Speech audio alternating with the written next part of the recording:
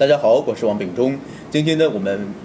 找到了远山先生，请到了远山先生，要来和我们来说一说最近的这个立法院大打出手啊，俨然是这个好像焦土大战美牛议题，请我们远山先生来说一说这个美牛要怎么来看这中好个事，情各。位朋友，大家好。关于整个美牛案呢，演变到今天，今天是星期五，是会期的最后一天。如果在今天还是没有办法通过，那么注定这整个五天就通通都是一场闹剧，一场大笑话。回顾这几天来的一个发展，早在二月的时候，其实是民进党以及在野党团首先要求国民党，我讲说马英九必须要让这个美牛的法案送交到立法院来共同审议通过。而当初马英九之所以会答应，那当然首先一方面在二月那个时候还没有油电双涨，或者是也没有正所税这个问题，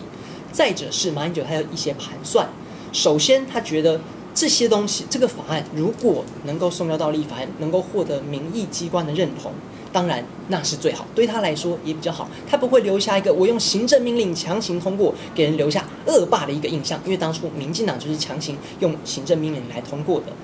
第二个层次是，他也自信自己在国民党立委是占有多数的，当然能够通过。第三个层次，他也知道民进党当然会想要在立法院当中会进行一些恶意的这个杯葛。那么不管他到底是怎么个恶意杯葛，一定呢可以累积到部分的一些民怨，可以让知道让大家知道，哎呀，你看民将就是来乱的啦啊。第四个层次的考虑啊，这个就比较心机化一点，或讲说我们这个有点啊事后诸葛。当马英九在讲说，好吧，那么最后啊，他一定预料到国民党的这个立委和这在野党立委势必要有一场大战，或者是这个投票上的这个战争，他就可以知道国民党的哪些立委是不愿意去支持他的。我们以前都知道，在二零零八年马英九刚上台啊，就国民党的立委在这个监察院院长的时候，就打了马英九一枪，所以导致马英九非常不开心，才去接任这个党主席。现在他一样是透过这个美牛的这个问题来重新审议一下，目前新当选的这一届立委谁是不听话的？那很明显啊，对，到后期的时候开了这么多的这个大会，然后马英九再次去跟这些立院的这些立委来拜托，来讲说啊，拜托美牛案一定要通过啊，拜托大家同心协力，一起去守住这个关卡。马上就让他发现到底是谁，到底我讲了这么半天，你竟然还不通过。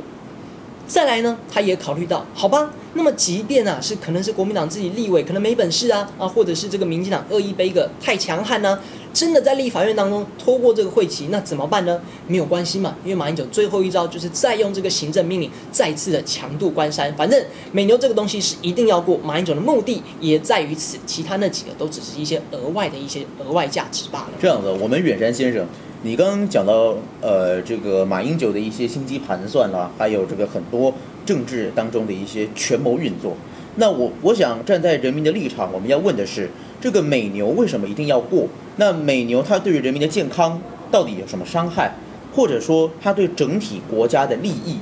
利害得失怎么来分析？因为民进党说反美牛是为了要维护健康，所以对美牛本身到底该不该反？对于美牛这个问题啊，我们从民进党这一次在院会当中这五天下来，我们已经可以清楚的看到，大家可以看看到新闻画面当中他们所拿的那些标语，他们的标语几乎没有提到美牛、毒牛这两个字，完全没有。他们要提的是维护健康，不然呢就是提油电不要涨价，大部分都在提这个油电不要涨价。大家看画面就知道，为什么不敢提呢？很简单嘛，因为他们自己也知道自己在两千零七年阿扁执政的时候也想要开放嘛，而且当时开放的那个呃瘦肉精的那个比例还是三十 ppb，比现在的十 ppb 还要多了二十倍啊！哎，对，还要再多了二十，所以他们自己也知道，哎呀，这其实有点自打嘴巴的这个感觉。所以他们只好说，好吧，我们是以维护健康来作为一个目的。那当然，抗争了这么多天，最主要的一个目的就是希望能够争取民意的一个支持，然后以此去告诉老百姓，哎呀，国民党好可恶啊！你看，强行要通过这个毒牛来残害台湾老百姓的这个身体，马英九一定是拿了美国人的好处，马英九一定是拿这个绿卡，不对，要说啊，马英狗一定是拿了美国的绿卡才会这个样子。所以这其实是符合民进党长期以来的这个一贯的这个操作，就是套用“毒牛”这两个字，就简单的把所有的专家的这些资料以及证据全部都大而化之。专家证据没有人要看了，莱克多巴胺、什么克罗特，还有什么沙丁胺醇，老百姓不懂啊，选民也懒得观察，除非少数的专家学者专门在研究的。没有人会知道那个东西啊，反正一生它就是毒牛，马英狗就是要残害台湾老百姓，这个东西就是这个样子嘛。那么实际上到底毒牛对于台湾老百姓有没有害呢？那因为这个专家其实我们等一下就会讲，要等到那个最新的一波的这个调查出来，我们来谈。有一些立委要求说，至今啊，没有人能够证明说美牛对身体是无害的，所以不应该开放。再听一遍哦，很多立委或很多民间人士说，从来没有资料能够证明美牛对人体是无害的，所以不应该开放。啊，拜托乡亲啊，现在哪有什么东西可以证明一个东西对人体是无害的？怎么可能嘛？那不可能嘛！按照这个标准啊，不要说美牛啦，台牛、台猪、台鸡、台鸭啦，都没有办法证明对人体无害啦。你说苹果这种东西有没有办法它证明它对人体无害？没有办法了。为什么？因为我们只能够证明啊，它里面有很多维他命对人体有益，但是我们绝对没有办法保证说这个东西对人体无害。为什么？你怎么知道它里面有没有东西其实对人体有害？只是你现在科技不够发达，检查不出来嘛。所以你要去找到说哇，对人体无害的这种检验，不可能办不到，只能尽可能的说它目前对人体看不到什么有害的证明。对，所以目前呢，如果我们要要求说，哎呀，它对人体无害报告还没有出来，不能通过，这个就是来骗人的，这种资料做不出来，报告也检查不出来啦。好，所以民进党目前的一个做法很简单，他们一方面是占据了这个立法院，并且同时说，哎呀，目前呢，这个是联合国的食品发电委员会在七月就要召开，重新去审议这个瘦肉精的这个问题，那到底对人体的残害标准是怎么样？是不是要重新定定一个标准？民进党都说，哎呀，为什么你们国民党那么快就要通过呢？是不是有什么阴谋存在啊？哦，你看你们就是很害怕报告会通过嘛？对我来说啊，我觉得国民党的盘算是这样子的。那当然，食品法典委员会要么呢就会过，要么就是就要么就是觉得收金没问题，要么就觉得收金有问题。国民党怎么盘算？国民党盘算，那当然是觉得这个食品法典当然会过嘛。为什么？这个美牛这个呃这个瘦肉精这个问题，很明显就针对着美国来的。大家想一下，联合国里面的食品法典委员会，在当今美国。光五月负债就高达一千两百多亿，以及他为了要防止欧洲的这个危机烧到美国自己上，他会不努力倾销自己的美国牛肉吗？在目前日本、韩国、澳洲、世界二十四个国家都通过这个瘦肉精开放的时候，你觉得联合国食品卫生委员会能能够大胆的说不吗？不可能嘛！美国一定想尽办法会去压迫这个食品卫生委员会，你想说我的美牛没有问题啦。所以国民党也是在赌，他的赌没有问题。一旦食品委员会鉴定没有问题的时候，那么现在你民进党所做的这些事情就是北蓝，就是北蓝啊，而且一点意义都没有。那你说那那万一马英九赌错了怎么办？万一就是食品委员会说啊这个东西真的是不 OK 啊，然后打了美国一巴掌，打了二十四个国家一巴掌，那怎么办呢？也不是没有可能。好，那么对于国民党来说也没差，为什么？因为那个时候就是以行政命令的方式准备要开放嘛，那那目前到七月其实还有一段时间，所以其实它是没有办法那么快运作下来的，不是说一开放马上就开放，没有这回事。所以当我们现在假设说马英九好吧，他宣布要要开放要做了，那正是在七月那份报告出炉，发现说瘦肉精其实是有问题的时候，马英九顶多说啊不好意思啊道歉啊，不好意思啊，那那就不要嘛啊好吧，就就没了，没了之后。四年之后，选民还会记得那么多吗？不会，为什么？因为毕竟没开放嘛，伤害没有造成嘛，没有造成的伤害，你提他干什么呢？对不对？民进党在后续的四年当中，民进党一定看马英九等着出更多包嘛，一定是之后呢，然后再拿出的更多包，再去捅国民党。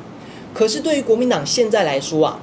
这一群民进党的这群在野党立委，他们霸占主席台啦，他们在里面睡觉，他们在里面吃喝拉撒睡啦，仪容不整啊，吃炸鸡啊，干嘛的？这些影像都被保存起来啦，就等待四年之后的选举前，这些都是最好的宣传啊。所以我觉得这一次这一次的这个作战，不管怎么样，其实对民进党来说，其实都先天性都是不利的。因为不论是食品法典委员会有过或者是没过，国民党其实都有后续。大概不会有人认为说健康是不需要去维护的，健康当然是需要照顾。但是在照顾健康的同时，这个健康的标准要如何衡量？我想这是一个需要全盘利益得失的一个衡量以及理性分析的。就诚如刚刚远山先生所说的，没有任何一个所谓的检验报告可以说这个东西完全是无害的。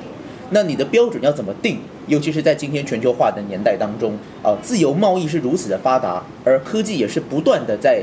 演进的这个时代当中，你要怎么样去面对很多新出来的产物？你都用这样的一个标准，那到时候这个问题呢是会越来越复杂，而且可能还上升到一个外交层次的问题。而这个时候，它对于整体国家利益到底孰轻孰重啊？不是说健康不重要，而是说这个健康要摆在什么样的层次？否则，你说任何有可能有毒的东西，那请问这个烟呐，烟抽久了是不是也会尼古丁中毒啊？啊，这个更可怕的，像农药啊，农药也在卖啊，残余的农药到什么标准，人体也可能会死啊。这些啊，好像大家其实也并不是用这么多的精力去关心。美牛今天之所以大家用这么多的精力去关心，我想请教远山先生，您刚讲这么多，哎，这么多的政治运作、权谋的这些利益盘算在里头，美牛是不是已经变成了是一个政治性操作的民粹议题？美牛是不是一个民粹的操作议题？那本来就是啊，它没有已经变成，它一直都是一个民粹性的操作议题啊。凡是关乎任何重大的国家政策，从来就不会是单一的经济问题，或者是交通问题，还是什么健康问题，没有。通通都是政治问题嘛，一定是在这个政策当中，国民党或民党各自拿了多少，各自能够争取到多少的选票，或争取到多大利益。如果美牛顺利通过，假设真的之后能够签订提法，或是之后啊这个免签能够顺利谈成功，那当对国民党来说，那就是最大一个利益盘算。而国民党得到了这个好处，民进党那当然说什么这种东西怎么可以在国民党之内通过呢？所以民党当然是要积极的反对这个美牛。民将有真的有在意人民的健康吗？其实不见得是这么一回事嘛。否则两千零七年他们也不会想要去通过这件事情嘛。虽然后来就是民进党宣称说啊，两千零七年后来撤销了，那又是另外一回事。那充其量只能够证明说，哎呀，因为两千零七年的时候，民党快要做不下去了。两千零七年红三军早就出来倒扁声浪，这是始祖，大家都知道民进党那时候快完蛋，所以这件事情呢，后来才放手。所以刚品中圈问到，对于这个健康的议题上，那到底两党有没有为老百姓的健康着想过呢？当然，某种程度上是有。只是呢，对于立委或对于政治人物的盘算来说啊，永远是选票会放在健康之上的。怎么这么肯定？我说把所有政治人物都污名化，没有嘛？你去问某一个立委，如果今天你能够捍卫老百姓的健康，但是你下台，你现在马上没有选票，你干不干？不干，不干嘛？对不对？那你说，哎呀，你看国民党立委里面也有很多这个反美牛的，为什么？也是怕选票的这个问题嘛。他也是害怕选票啊，那你说那民进党里面有没有这个支持美牛的呢？嗯，就是为选票啊，那就是维护自己政党这个意的这个意见。所以老百姓啊，到底应该怎么样在这个当中去做一个取舍？当我们都发现到，哎呀，其实我们的政治人物根本就只是为了选票，其实根本就没有在 care 我们的健康，就是专家这个证言，美牛好，美牛不好，各说各话的时候，老百姓到底应该怎么办？这其实才是一个很重要的问题。铁然兄啊，刚刚我听你讲了这么多，我有个很深的感受，就是你刚刚说到国民党为了选票如何如何，民进党为了选票如何如何，国民党怎么盘算国民党他的利益，民进党又如何盘算民进党的利益？我们不是经常听到所谓“国家至上，人民优先”这句话吗？在立法院的议事殿堂上，不是都高挂着这些标语吗？那刚刚这么讲起来，政党的利益是不是已经凌驾在我们国家全民的利益之上？再来，你刚刚讲到说政党是为了骗选票，本来选票是代表人民的利益的，可是今天好像选票是不是其实也不能反映人民的利益了？